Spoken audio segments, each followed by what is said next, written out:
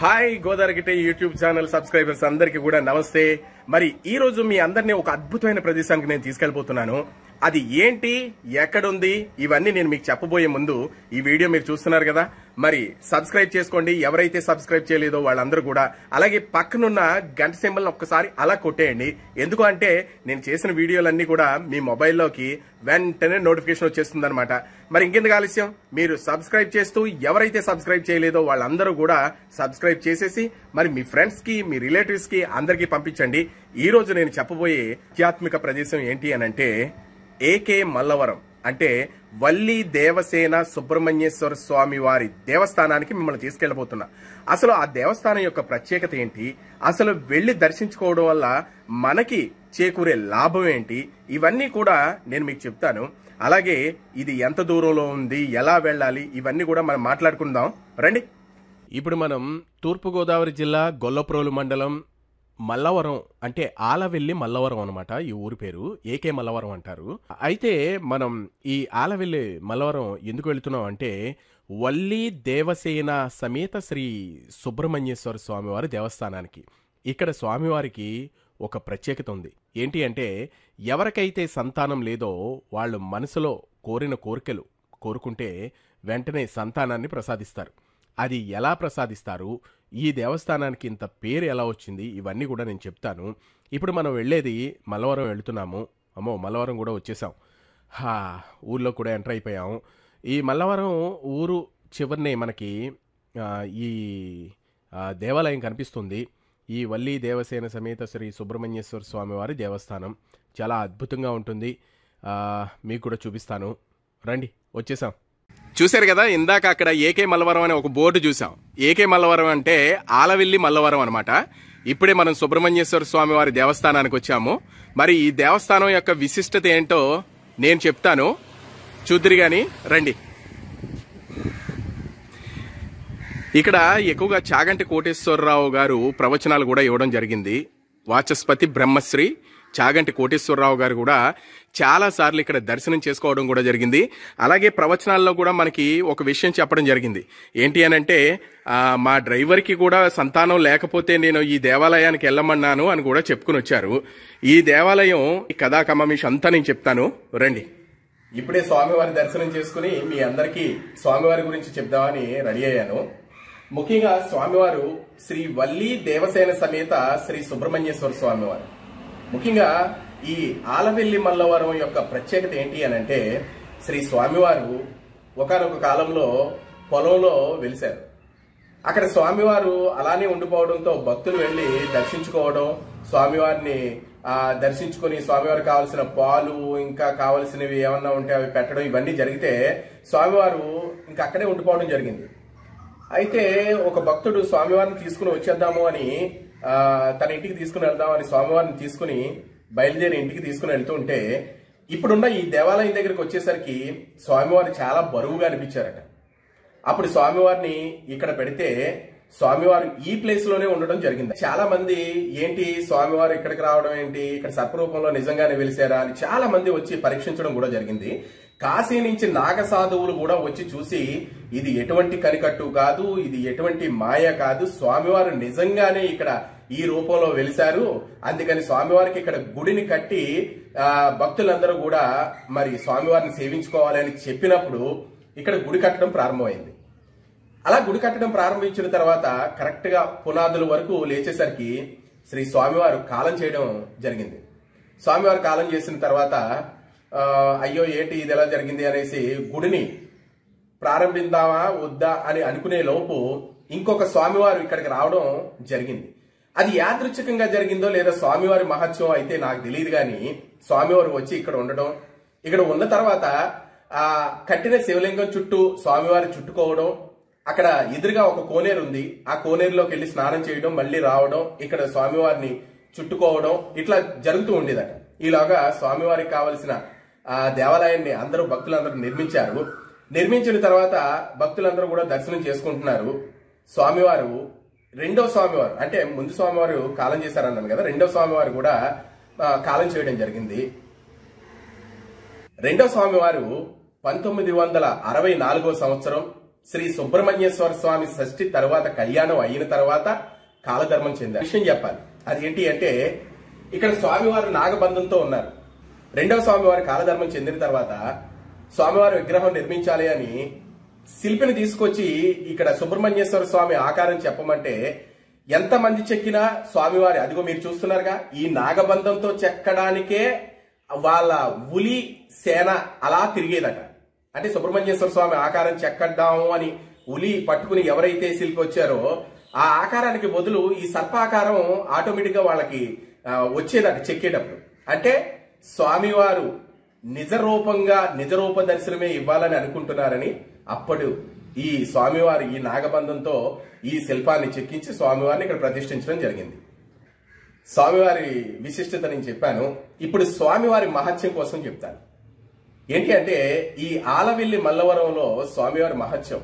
సంతానం లేని వాళ్ళకి సంతానం. అలాగే ఎవరైతే ఈతి బాధలు ఎందున్నారో వాళ్ళందరి ఈతి బాధలు తొలగించడం. ఎవరైతే పెళ్ళి కాని వారు ఉన్నారో వాళ్ళకి పెళ్ళి జరిగేలా చూడడం. ఇవన్నీ నేను చెప్పినవి కాదండి. బ్రహ్మశ్రీ చాగంటి కోటేశ్వరరావు గారు మనకి నేను అది కూడా ఎందులో చెప్పారో కూడా నేను చెప్పేస్తున్నాను. సంపూర్ణ రామాయణం. గుంటూరులో చెప్పినప్పుడు నలభై రెండు భాగాలు నలభై రెండు రోజులు చెప్పుకుని వచ్చారు. అందులో ఆలవెల్లి మల్లవరం ఈ మల్లవరం గురించి విశిష్టంగా చెప్పుకుని వచ్చారు. అందుకనే నేను ఈ దేవాలయానికి రావడం జరిగింది. స్వామివారు విశిష్టత ఏంటి అని అంటే ఇక్కడికి ఎవరైతే సంతానం కోసం వస్తారో భార్యాభర్తలు వాళ్ళు అందులో భార్య ఇక్కడ నాగుల చీర దేవస్థానం వారు ఇస్తారు. తెల్లవారుజామున నాలుగు గంటల నుంచి ఆరు గంటల వరకు ఇక్కడ దేవాలయం ఎదురుగా ఒక కోనేరు ఉంది.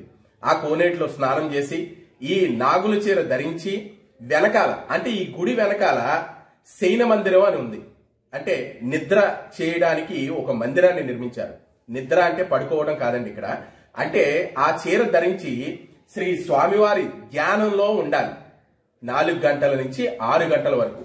ఆ ధ్యానంలో ఉన్న తర్వాత అప్పుడు పంతులు గారు వచ్చి వాళ్ళని బయటికి రమ్మని స్వామివారికి అభిషేకం చేసి తీర్థప్రసాదాలు ఇచ్చి పంపుతారు.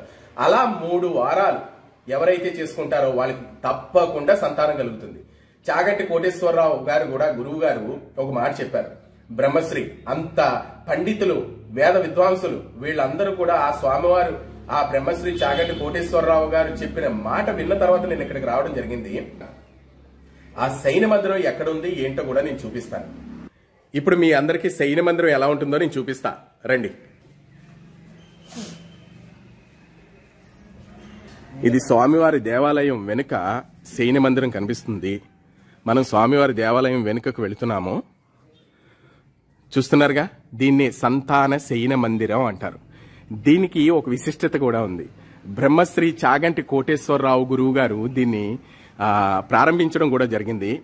ఇందులోనే మనకి ఎవరైతే సంతానాన్ని కోరుకుంటున్నారో వాళ్ళు నాగుల చీర కట్టుకుని ఇందులో ధ్యానం చేస్తూ తెల్లవారుజామున నాలుగు గంటల నుంచి ఆరు గంటల వరకు ధ్యానం చేసి స్వామివారిని దర్శించుకుని మరి మనసులో కోరికలు చెప్పుకుంటే స్వామివారి కోరికలు నెరవేరుస్తారు. అలాగే ఇక్కడ మనకి చూస్తే శ్రీ లక్ష్మీ నరసింహస్వామి వారు కూడా కనిపిస్తూ ఉంటారు. అలాగే శ్రీ సుబ్రహ్మణ్యేశ్వర స్వామి వారి దేవస్థానంలో లక్ష్మీనారాయణల మందిరం ఇది. ఇందులో లక్ష్మీనారాయణుల వారి దర్శనం ఇస్తూ ఉంటారు. చూస్తున్నారుగా? ఇక్కడ ఒక కోనేరు కూడా ఉంటుందని చెప్పాను. ఆ కోనేరును కూడా నేను మీకు చూపిస్తాను. ఈ దేవాలయం కూడా చాలా విశాలవంతంగా ఉంటుంది. తరచుగా ఇక్కడ మన పూజ్య గురువులు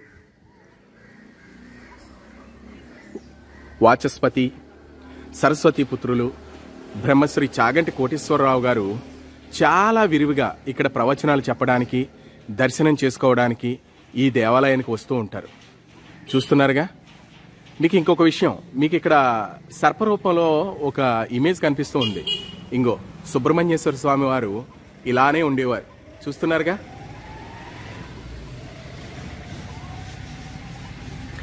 అలా సర్పరూపంలో శివలింగానికి చుట్టుకుని ఉండేవారు.